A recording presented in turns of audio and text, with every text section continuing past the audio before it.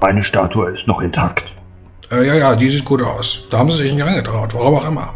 Ja, warum wohl? So, und jetzt seid ihr wieder hier. Äh, ja, Isarol hatte kurz davon berichtet. Äh, sie hatte mir einen Brief geschrieben ähm, und hat gesagt, dass Iolaos und, äh, und Eltern verschwinden, gemeinsam mit äh, Alberon.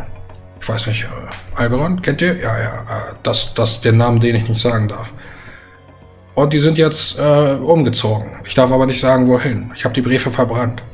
Ja. Und ich hatte mich sehr darauf gefreut, Eltern Gorbers wiederzutreffen. Ja, schade Ach, drum. Wisst ihr, das ist doch gar nicht so schlimm. Wenn wir sie wiederfinden wollen, finden wir sie schon wieder. Wir haben ja noch das Pendel. Aber ich habe noch nicht ganz verstanden, was ihr jetzt hier macht. Also jetzt, äh, ich meine, die Villa gehört euch und ich habe die nur für euch verwaltet und, äh, und so. Aber ich, freue mich auch, dass ihr wieder hier seid. Aber äh, was habt ihr denn jetzt vor, Anzorgern? Naja, Archenjagen, ähm, hauptsächlich. Ich muss heute noch. Ähm, ich habe Anschläge verteilt. Ich hoffe, ihr habt auch was verteilt, damit die Leute in die Taverne kommen. Wir brauchen Besatzung. Den Brief, den du ja, ja, so habe ich gemacht. Also, wir Ja, haben ja hier eine gut. Druckerei. Ich habe die, ich habe die einfach äh, vervielfältigen lassen in der Druckerei und dann habe ich die in den Tavernen gelassen. Ja, dann hast du auch was aushängen lassen im Mittelreich. Äh, tatsächlich ja. Vor allem, ich habe jemanden mit so einer alten Petersilien Perikum aushängt, aber. Oh, sehr gut, sehr gut, sehr gut. Äh, Beutax, Äh, äh, Entschuldigung, ich habe deinen Brief gelesen. Ich habe gesehen, Albrax äh, stand da drauf und ich habe ihn aufgemacht. Ja, ja. Ähm, ich habe Albrax um ein, zwei ähm, tatkräftige Unterstützung gebeten in Form von Rotzen. Ja, die, die stehen in der Schmiede. Ja, genau. Oh, oh, oh zwergische Rotzenboltax. Ich habe gehört, die sollen gut sein. Die sind sehr gut. Die sind sehr gut. Oh, Ach so. Und ich äh, habe Eila einen Brief geschrieben. Ah, das soll ich ja nicht so laut sagen. Ach so, Beutax, äh, äh, Albrax hat mir auch noch einen eigenen Brief an mich geschickt. Äh, zehn neue Witze, die er sich ausgedacht hat. Die kann ich dir nachher mal vorlesen. Oh, ja, das. oh, da will ich aber dabei sein. Ein Witzebrief. ja, das äh, müssen wir auf jeden Fall machen. Ähm, ja. Halt sie euch lieber ein als Notration für schlechte Zeiten. Die kann man immer wieder lesen. Die sind immer, immer genauso lustig. Hm, Die werden mit der Zeit sogar noch besser. Weil man sie dann versteht. Na dann. Nun, ähm, aber ich habe noch mit Ayla korrespondiert. Ich weiß, das soll ich jetzt nicht so laut sagen, deshalb senke ich meine Stimme. Und Ayla hat uns zugesichert, uns drei Rondra-Geweihte zu schicken. In diesen Zeiten? Erstaunlich. Ja. Jetzt haben wir schon vier. Er hat nicht zufällig geschrieben, wen sie uns schickt. Ach, bestimmt, aber ich weiß nicht. Oh, hoffentlich aus Barburin. Das kann sein. Wir werden es sehen. Die kommen dann irgendwann hier an? Ja, genau. Nun, äh, wo ist eigentlich das Schiff? Aber mir, er schrieb, ihr hattet ein Schiff? Nun, es liegt im Hafen. Es muss noch etwas getan werden. Eine Generalüberholung wäre nicht schlecht. Ich denke, ich könnte auch die Matrosen noch auftreiben, die dieses Schiff überführt haben. Wir werden sie brauchen. Eine hervorragende Mannschaft. Und vermutlich, ich hab's ja noch nicht gesehen, aber ich weiß nicht, wie viel. Es sind viele. phasische Seeleute. Die sind die besten. Und das, das möchte ich nicht in Frage stellen. Ich wollte nur ähm, hinterfragen, wie viele fähige Seeleute ähm, Zorgan wirklich hergeben wird im Fall des Fälles. Äh, Fall der Fälle. Wie viele Seeleute braucht man eigentlich? Zehn? Das hängt von dem Boot ab. Normalerweise, von dem Schiff ab. Normalerweise rechnet man mit etwa 10 pro Segel und dann noch, noch einige, ähm, naja, wenn du, wenn du das größeren Rumpf hast, noch für einige und natürlich die Geschützmannschaften. Nun, ich glaube, die Standardbesatz für eine Honorase Schivrone dieser Größenordnung wäre 300 Mann. Ja. Insgesamt. Oh, Also- da müssen wir aber viel anheuern heute. Das Versuchen- ist schwierig. Ich kenne nur eine Person hier in, in, in, in, in Organ. Versucht mal 300 Mann anzuheuern, die auch noch wert sind. Naja, also ich habe einen Brief nach Hause geschrieben, der von zu Hause kommen. Naja, ähm.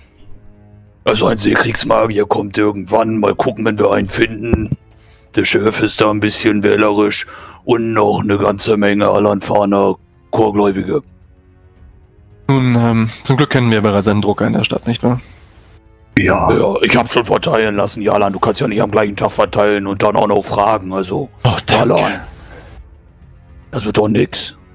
Ähm, Jedenfalls, jedenfalls was, Ja, mach. was die Mannschaft angeht, äh, wir haben Kredit, äh, gnädigerweise.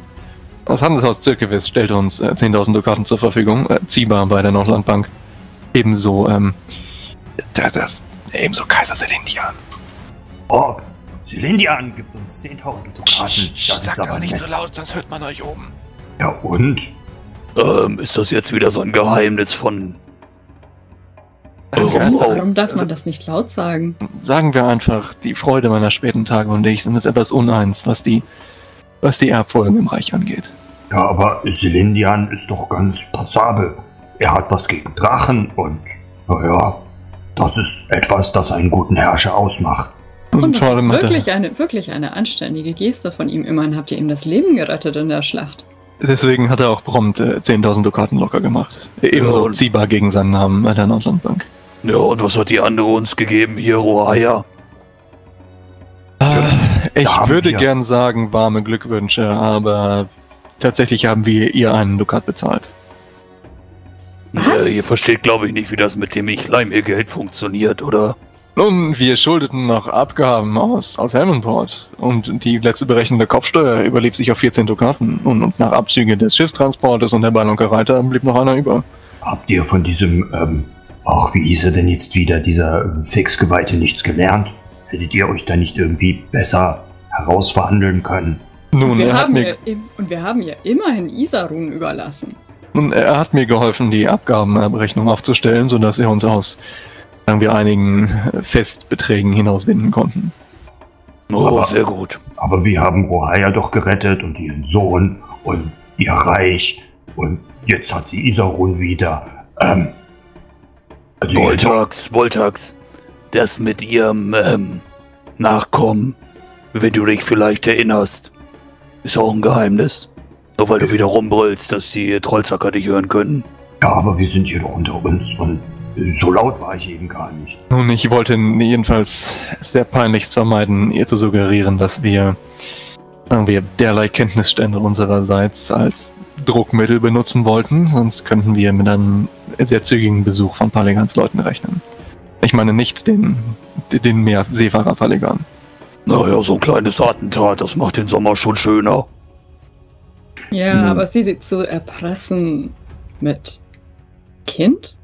Das wäre Ja. wirklich nicht sehr gefällig gewesen. Nein. Naja, aber sehr alanfanisch. Das äh, passiert öfter mal. Das meinte ich doch auch gar nicht. Ich, ich finde es nur eine sehr schwache Leistung von ihr, dass sie uns nicht unterstützt, wenn wir mal Hilfe brauchen.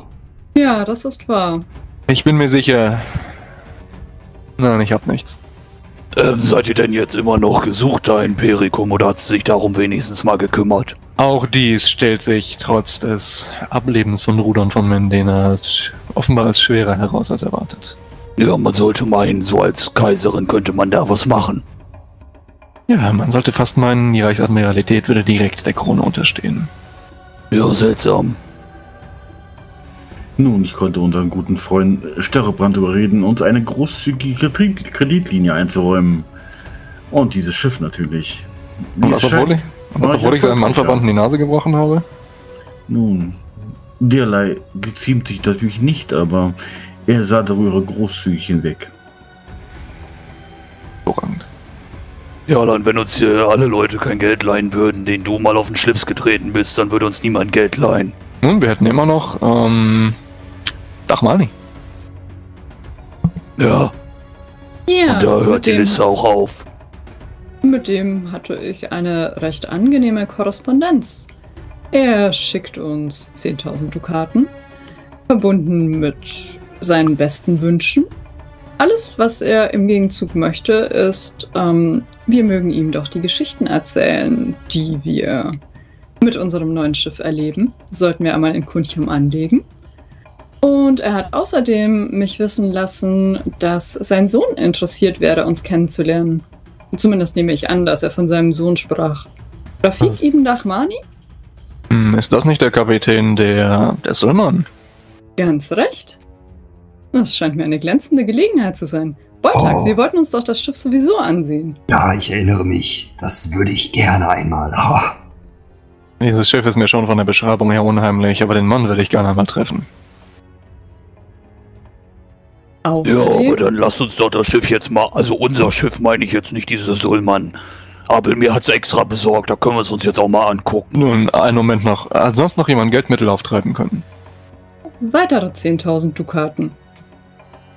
Von der Mondsilbersultana. Hervorragend. Sehr wir sind- hervorragend. Wir sind außerdem eingeladen.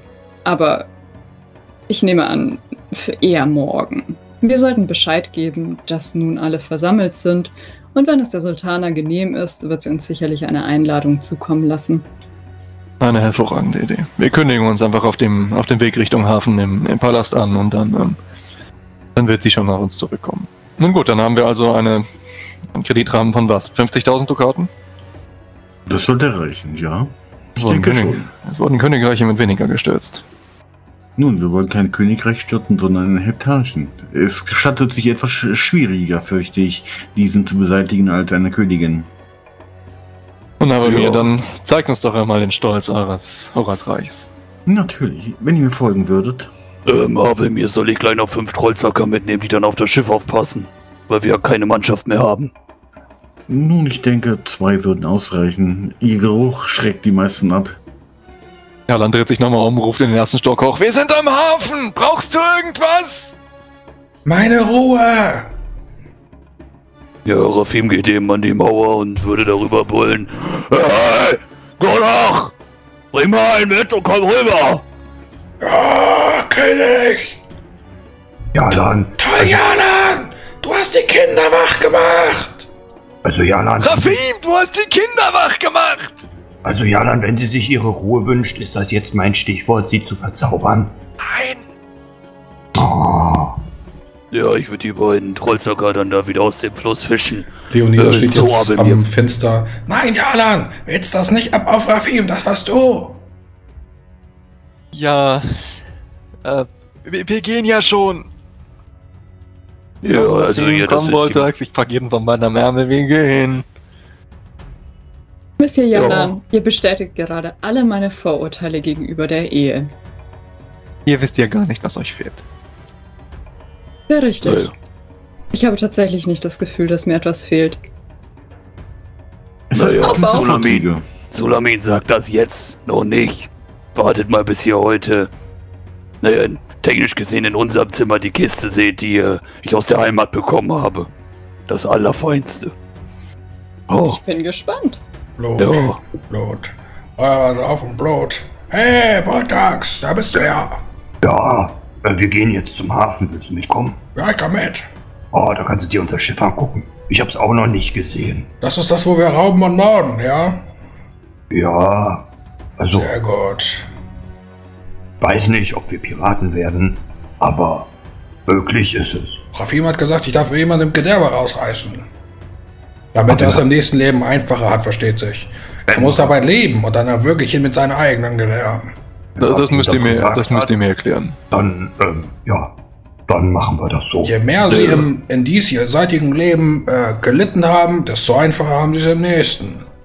Warum? Ja, weil sie da weiterleiden müssen. Und wenn du das gewöhnt bist, dann bist du nicht so eine weinerliche Sau. So wie du. Zum Beispiel so wie du. Buh, ich hab nur noch einen Arm. Mann, wir haben einen bei uns, der hat sich den Arm extra abgeschnitten. Tu mal nicht so. Nun, Na ja. offensichtlich, offensichtlich hat er auch nur ein halbes Hirn. Das kann sogar sein. Naja, das also ist immer schwierig nachzugucken, ne? Blut, Blut. Was auf dem Blut. Und so geht Gonach gemeinsam mit euch in Richtung des Hafens. Dann liegt vor euch ein mächtiger Viermaster, ein Schiff der König Terriger-Klasse, was selbst seine Krake neben sich klein erscheinen lässt. Mit den Horas-Adlern über und über, teilweise sogar auch auf den Segeln, die zwar nach oben gezogen sind, aber man kann ihn trotzdem schon in Gold auf Weiß erkennen. Na, wie er dort seine Flügel ausbreitet, einige kleine Bannerchen, die da noch im Wind wehen, ähm, auch mit Rahsegel ausgestattet, ehemals wohl mit Ballisten und Rotzen, Hornissen gespickt. Äh, es weist noch einige Lücken auf, äh, an denen man wohl noch das Ganze aufziehen kann, aber zurzeit ist es entmilitarisiert. Und äh, es gibt an einigen Stellen äh, eingeschlagene Rotzenkugeln, ähm, die das äh, Holz haben schon splittern lassen. Teile der Reling sind wohl auch weggeborsten. Und auch der Name des Schiffes ist wohl zerstört. Ihr könnt wohl noch einige Buchstaben erkennen, aber einen richtigen Hinweis darauf, wie das Schiff ehemals hieß, lässt sich mittlerweile nicht mehr erkennen. Also Aber mir, ich bin ja kein Experte, aber das sieht schon ein bisschen runtergekommen aus. Es ist ein prachtvolles Stück rurasischer Schiffsbaukunst. Ich bin überrascht, dass es schwimmt. Es schwimmt und tut sogar mehr als das. Es wird uns durch die Weiten des Perlenmeers tragen, wie nichts. Aber guck mal, da fehlt doch ein Stück Schiff. Da auch. Und Nun, das ist unsere Aufgabe, dieses Schiff wieder in einen fahrtüchtigen Zustand zu versetzen. Und die Galionsfigur könnt ihr ignorieren. Ich habe bereits einen neuen Auftrag gegeben. Bei Oh. Igna. Er ist der Beste. Und was bildet sie ab? Die heilige Ephadane. Im Kampf mit einem Dämon der nachtblauen Tiefe. Oh ja, Sulamin und ich haben ihm dafür äh, Modell gesessen. Ihr könnt mal eine Sinneschärfeprobe und zwar auf Hören und Sicht ablegen. Wenn ihr irgendwelche eingeschränkten Sinne habt oder eben herausragende, würden die zählen. Ich hab hart gepatzt. Ja, doppelt 20 bei Jalan. Jalan, du hast kurz das Gefühl, als würdest du einen Geist an Bord erkennen, aber du musst dich getäuscht haben. Geister gibt es nicht. Beutax derweil kann tatsächlich etwas erkennen und zwar äh, können Rafim es jetzt auch sehen. Dort unten könnt ihr die Schritte von jemandem hören, der sich wohl im Unterdeck gerade befindet und da umherläuft. Auf Habt ihr eurem das- Schiff. Habt ihr das gesehen? Da oben in der Takelage! Ja, Ja, da ist einer auf dem Schiff, Boltax. Habt ihr doch noch einen Mann gehabt, aber mit den ihr hier gelassen habt? Sehr Nein. vernünftig. Nein, Das wird dieser die stammt mitgebracht haben. Nicht von uns. Wir sollten ihn, Soll ich ihn ermorden? wir sollten ihn zuerst Ähm. fangen. Connor macht das. Aber mir welches verfluchte Schiff hat uns angeschlafen, angeschleppt? Nun, es war in einem hervorragenden Zustand, bis es hier ankam. Äh, Aber mir, da sind Brandspuren am Achterdeck.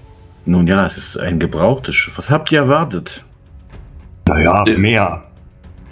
Aber mir, ich finde, es ist ein sehr schönes Schiff und ihr seid alles undankbare Arschlöcher. So, und ich gehe jetzt da rein. In der Tat. Ich, ich werde euch folgen.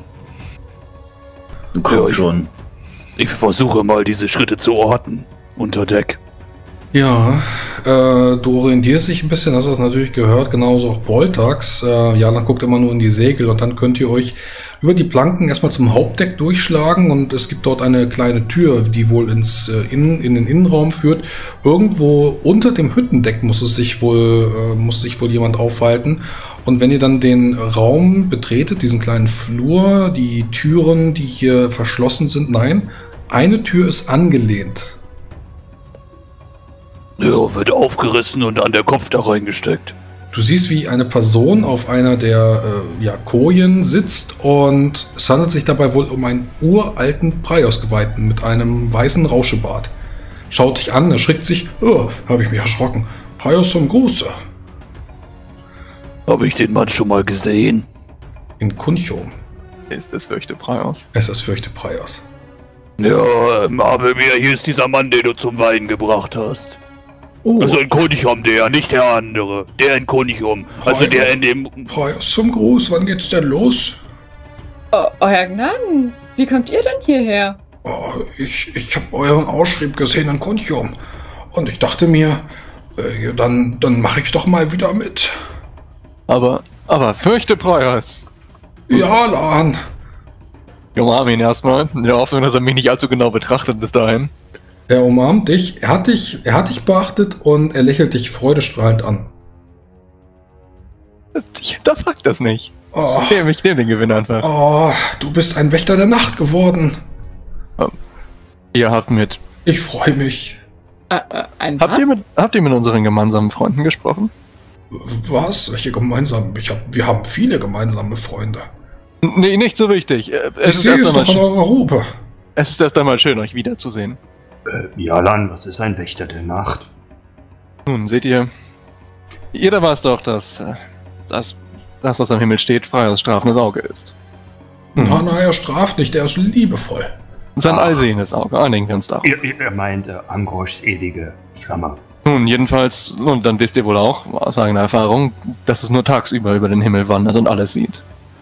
Nun, und da, wo es nicht hinscheint, nämlich in der Nacht, da, äh, da muss in den Schattenfex einschreiten. Ich bin der Wächter des Tages und Jalan ist mittlerweile ein Wächter der Nacht geworden. So sprach Priester Kaiser Prayofeld, dass sowohl im Lichte des Tages wie auch im Schatten der Nacht zu aller Zeit Gerechtigkeit zu herrschen habe. Ich bin auch nachts immer sehr müde. Ich gehe früh ins Bett, zur 18. Stunde, nach dem Abendbrot. Nun, Euer Gnaden, was verschlägt euch wirklich hierher? Ihr seid nicht zu alt für solch eine Unternehmung? Oh, ich bin fast 80 Lenzen. Ah, Herr, Tat. Da, Das ist, da kann man noch, aventurische Luft ist heilsam. Ein bisschen habe ich noch vor mir. das stimmt. Also mit 80 fängt das Leben ja erst an. Ähm, das weiß ich aus eigener Erfahrung. Nun, ihr seid ein Zwerg. Ihr ist ein Mensch. Aber wann geht es denn nun los? Nun, ähm, bald, äh, sobald wir Mannschaft haben und das Schiff ein wenig auf Vordermann gebracht. Äh, Ich habe Es mich schon gewundert, warum hier so wenig los ist. Fürchte Preyers, es sind sicherlich ein, zwei Wochen hin. Du willst doch sicherlich in der Zeit lieber bei uns an Land wohnen, hm? Äh, wo?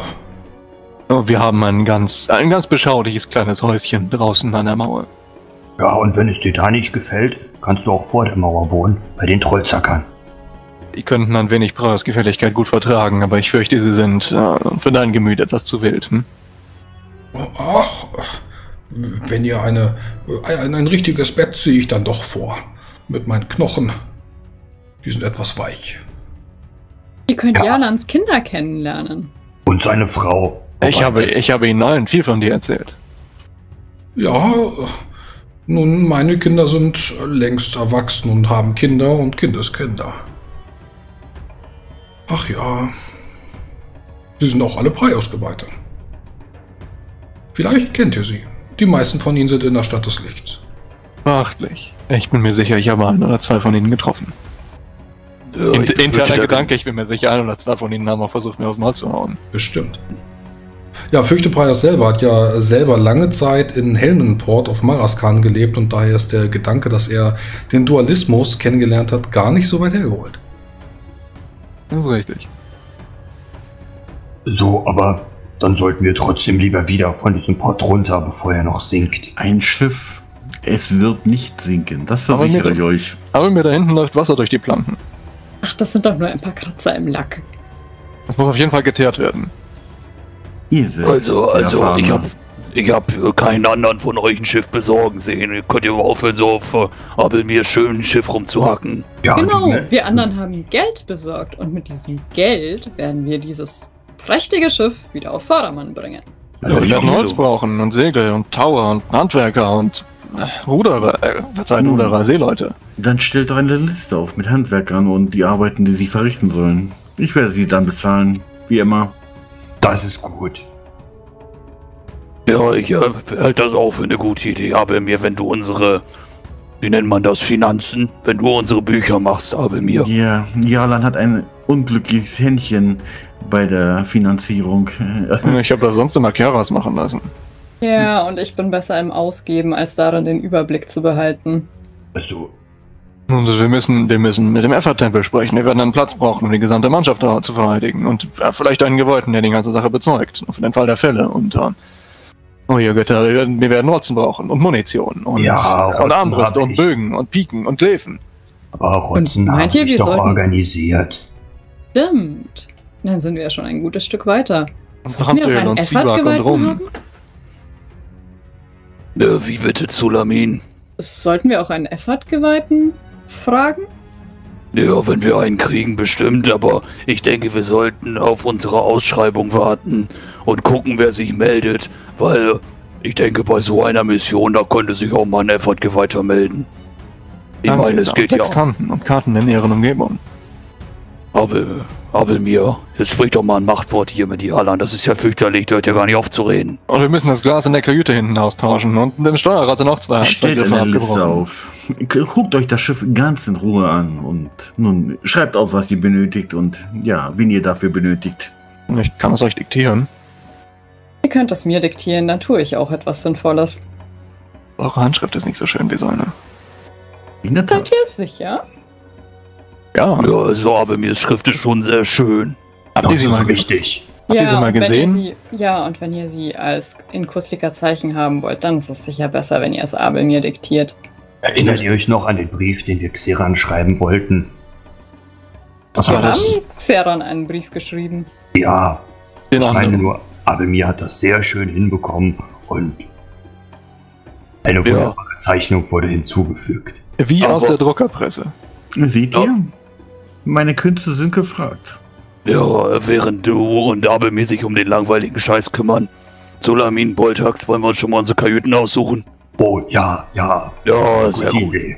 Ist das Äh, der Moment, wo wir johlend losrennen und erster schreien? Ja. Nachdem wir das bei der Villa Also, schon... das kommt drauf an, ob ihr glaubt, dass ihr danach in meiner Kajüte da schlafen könnt, wenn ich die gesehen habe.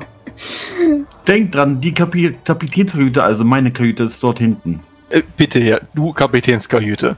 Ihr seid Kapitän? Natürlich, das ist ein horasisches Schiff. Aber mir, was weißt du denn von Schiffen? Das spielt keine Rolle. Äh, Ich war auch zwei Jahre, oder anderthalb Jahre im Horasreich. Ähm, Ich könnte auch Kapitän Ihr sein. seid kein Horasier, nicht wahr? Ja, Boltax, das ist so wie ähm, Menschen nicht nach Zollasch dürfen, also außer wir. Ah, na gut. Also das kommt ja wohl auf keinen Fall in die Tüte. Na, in dem Fall ist Abelmir der Kapitän. Seht ihr? Ja, Dann sind wir Ortgeweihte? Offiziere? Ihr Aber mir, ihr wisst doch gar nicht, ihr wisst doch gar nicht, wie man ein Schiff bedient. Das werdet ihr natürlich übernehmen. Ich führe diesen Titel nur pro forma. ja also Abelmir sagt dir, was du tun sollst. Du hast doch schon mal im Militär gedient, du weißt doch, wie das funktioniert. Dann Ich war ist, nie beim Militär. Das ja, aber dein komischer Orden da, das war doch auch so eine Art Militär. Das war was ganz anderes. also, Ich Moment. glaube aber, mir will nur das große Bett haben. Ich glaube auch. Ja, aber, aber wenn Abelmir der Kapitän ist auf einem horasischen Schiff, dann, äh, man sagt doch immer, ein guter Anführer muss nicht selber der Beste sein, er muss die besten Leute suchen. So, und du bist der beste Kapitän und deswegen hat er dich gesucht. also, Also hat der Kapitän einen Kapitän gesucht. also würde ich sagen, ähm, Also richtig. bist du der Hilfskapitän und Abelmir ist unser Kapitän. Also, nennen, wir, nennen wir ihn erster Offizier, das klingt besser. Gonner Ja, schläft bei Boltax im Raum. ja, okay, Gonne, das ist in Ordnung.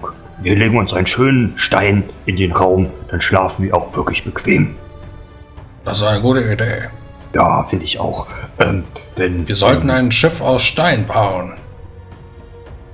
Ich finde, das, Das ist keine kluge Idee. ist eine brillante Idee. Dieses Schiff würde nicht zerstört werden. Es würde sinken. Nichts ist härter als Stein. Ja, ja, Land, das ist mit Stahl. Oder Endurium. ja, ja, Land, wenn du genug Endurium für ein Schiff ran schaffen kannst, können wir dann darüber reden. Äh, hast du dann jetzt auch schon eine Kajüte zugewiesen gekriegt, weil er der erste Offizier ist? Aber mir, wie geht das?